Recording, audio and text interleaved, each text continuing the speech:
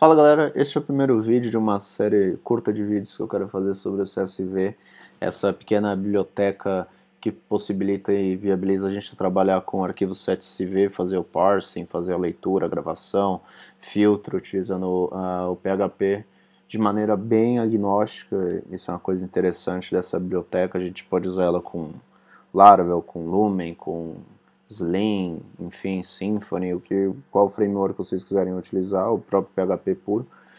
E é uma biblioteca bem completinha, ela, como eu disse, ela permite a gente trabalhar com os arquivos de diferentes facetas, né? então a gente consegue até converter os arquivos, sei lá, um arquivo é, CSV para um XML, um JSON, um HTML, é, além de ser muito bem testada, documentada, enfim, eu tive usando ela num projeto recente onde eu precisava exportar valores diários de acesso e ela se comportou muito bem.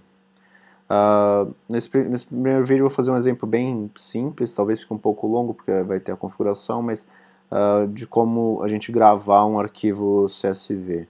A primeira coisa que eu vou fazer aqui, eu vou criar um arquivo Laravel, então Composer Create Project Laravel. Como todos sabemos, o Composer ele não, ele vai me deixar na mão, então eu vou cortar o vídeo aqui nessa parte, quando terminar a instalação eu retorno. Bom, agora que terminou aqui a instalação, eu vou dar um, vou entrar aqui na pasta do Laravel e colocar aqui o Composer Required uh, Ligue CSV. Enquanto isso aqui numa nova janela, eu vou no meu Devs Brasil, opa, www, Devs Brasil, Laravel, eu vou abrir aqui no Sublime, junto a isso eu vou criar o arquivo de uh, database, vou configurar meu arquivo de environment, vou colocar aqui SQLite, como ele lá já está configurado, posso tirar esse database, eu vou abrir a nossa migração, então database, migrations, users, aqui eu vou colocar só um campo simples para a gente poder é, variar um pouco nesse exemplo, que vai ser um campo booleano de status. Então, só para ter um exemplo um pouco diferente, vamos dizer assim, é, eu vou criar esse campo para ver se a pessoa está ativa ou inativa, tá? Mas num cenário ideal, você talvez teria birthday, teria aniversário, data de nascimento, que ou seja, a gente também pode trabalhar com, uh, com filtros na, na parte de obtenção de dados uh, do, do Eloquent. Bom, eu vou já alterar aqui a minha factory, então factories, model factory, aqui eu vou colocar um status, e ele vai ser um booleano.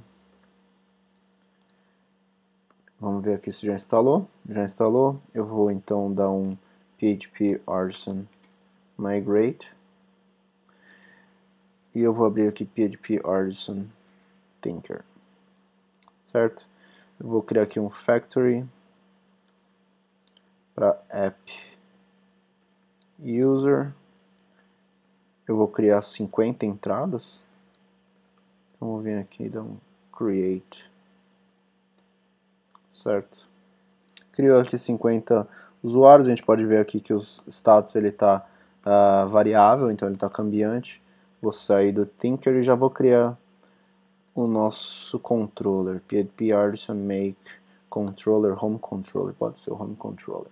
Aqui no web eu vou definir que eu vou usar uh, uses Home Controller no index, no método index. Então no Home Controller eu vou ter que adicionar aqui a função pública chamada index e aqui no web eu já vou definir que a gente vai ter o status. Então o status vai ser optativo.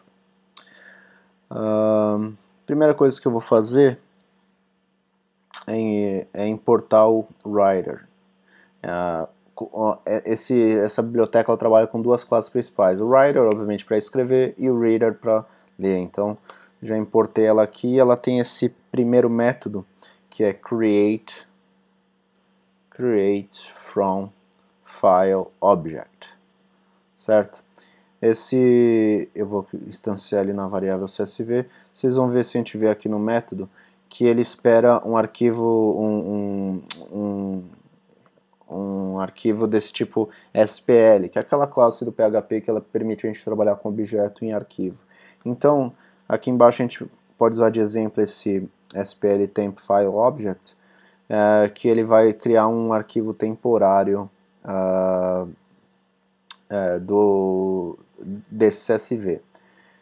Aí aqui eu vou dar um die dump uh, em request status, só para a gente dar uma testada como que ele está comportando a questão do status. Eu estou rolando, rodando um, o Laravel Valet aqui nesse, nessa pasta, então eu consigo acessar aqui direto. Então aqui eu tenho que passar, obviamente, request, request.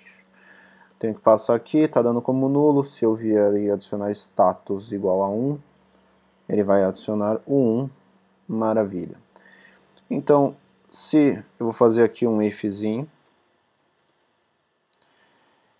if uh, e set. Status, ou seja, se status não for nulo e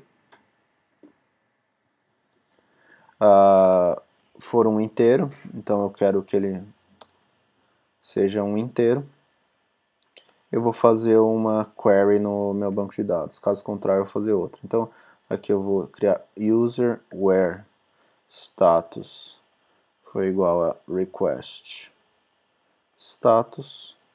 Eu vou selecionar para não ter uma query longa, eu vou selecionar o, os, as colunas de nome.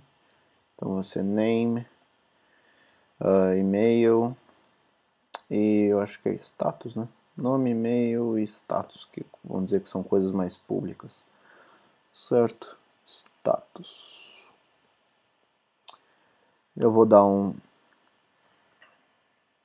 get e para retornar uma array, que depois para trabalhar com o Rider vocês vão ver que vai ter que ser array, eu não posso passar objeto, é, eu vou dar um all. Então isso aqui eu vou instanciar em users e aqui embaixo, ou seja, se não passar nada, eu vou fazer o mesmo select e dar a mesma, a mesma query no banco de dados. Vamos ver aqui. Uh, eu não importei. Importado. Aqui, se eu passei o status, eu estou retornando 25. Se eu passar o zero, obviamente vai dar 25, que é o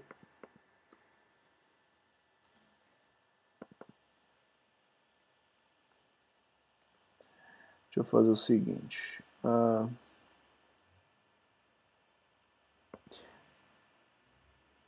eu poderia fazer aqui a validação através de regex desse valor de status para ter certeza que ele é um inteiro, mas como é, esse primeiro vídeo é mais curto, eu não vou fazer essa validação por inteiro, vou fazer só se existir, uh, se existir o status. Então, aqui se retornar zero vai dar 25 com status false, obviamente. Então, se a gente ver aqui o status vai estar zero, se eu tirar vai dar tudo, 50 entradas. Bom, tendo os valores eu posso uh, começar a fazer a alimentação. Então a primeira coisa que eu vou fazer é dar um csv insert one. E aí aqui eu vou passar uma array que vai ser os, uh, os títulos das colunas. Então vai ser nome, e-mail e status certo? Bom, daí agora a gente vai dar um simples for each, uh, só para a gente transforma, transformar uh, os, os, os objetos da classe user que a gente tem aqui ó, em, em uma array. Então a gente vai vir aqui, vai dar um CSV também, insert one, só que aí, em vez de passar isso, a gente vai passar user to array. Certo? Bom, então aqui agora a gente só vai exportar o nosso arquivo. Então se a gente tiver aqui CS, CSV output, eu vou chamar ele de usuários, underline, vou colocar aqui um carbon now. Carbon now. Uh, e vou colocar ponto .csv, certo? Então vamos dar uma testada. Se eu acessar aqui, fez o download, maravilha, vamos ver aqui. exportou as 50 entradas indiferente ao status. Se eu acessar aqui o status 1, vamos ver, ele pegou só os dados que tem status 1. E uma coisa que foi interessante quando eu estava trabalhando a primeira vez uh, com, com essa biblioteca foi que eu não conhecia, mas o Laravel ele tem um, vou dar aqui um DD, ele tem um, na classe esquema, vou até fazer um import aqui, esquema, ele tem um get column listings, se eu não me engano é isso. Deixa eu ver se existe um método. Aparentemente não. Faltou um N aqui. Isso mesmo. Se eu passar aqui a tabela users, vocês vão ver que ele vai exibir para mim aqui uma array uh, com todas as, as, colunas da tabela uh, users. Isso pode ser interessante que se você tiver uma aplicação muito muito dinâmica, você ao invés de ter que popular, escrever manualmente, fazer um hard coding aqui das de como você quer as estruturas, você pode simplesmente vir aqui, substituir por isso daqui, e aqui obviamente vou ter que tirar os meus selects. Aqui eu vou colocar user all. Fez o download sem nada, então ele deve popular agora todos os dados. Esse aqui é o antigo, vamos ver o novo.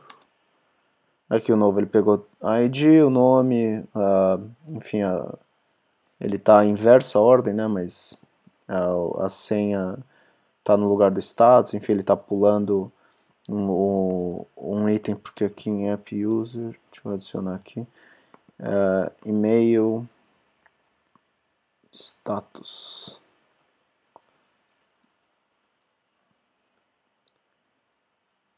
Agora acho que vai certinho.